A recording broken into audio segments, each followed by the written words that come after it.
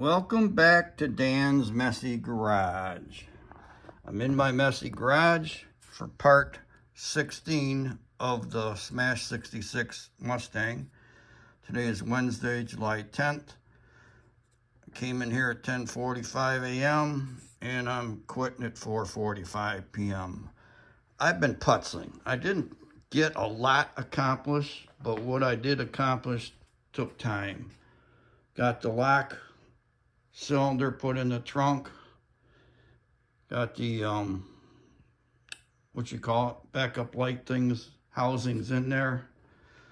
I got the extensions and stuff bolted on better, more permanent.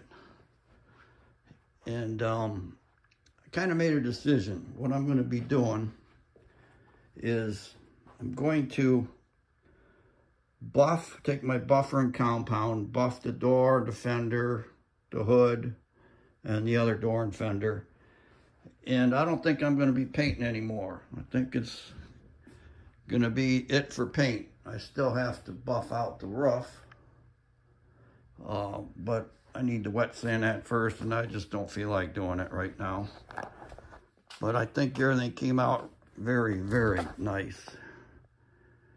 And um, Still have to paint the wheels. I thought I was going to be doing that real quick, but I'm not sure yet. My back is sore. I'm kind of tired. Been at this for a couple weeks now. And I did a real quick total of my hours. And it's uh, somewhere between 112 and 115 doing some real fast math. I still have more to go on the smashed part. So I'm going to say 120 hours. So what would you pay labor to a shop or somebody for 120 hours worth of their time? That's the big question. And I started adding up what receipts I could get my hands on real quick here. And I got about $1,800 in parts materials.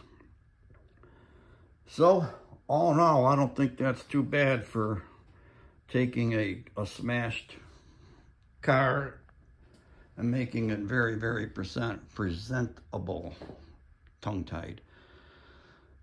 It's been a long day, and it's not even over. But I thank you very much for watching this part 16. And uh, I don't know if there's going to be a part 17 on this or not.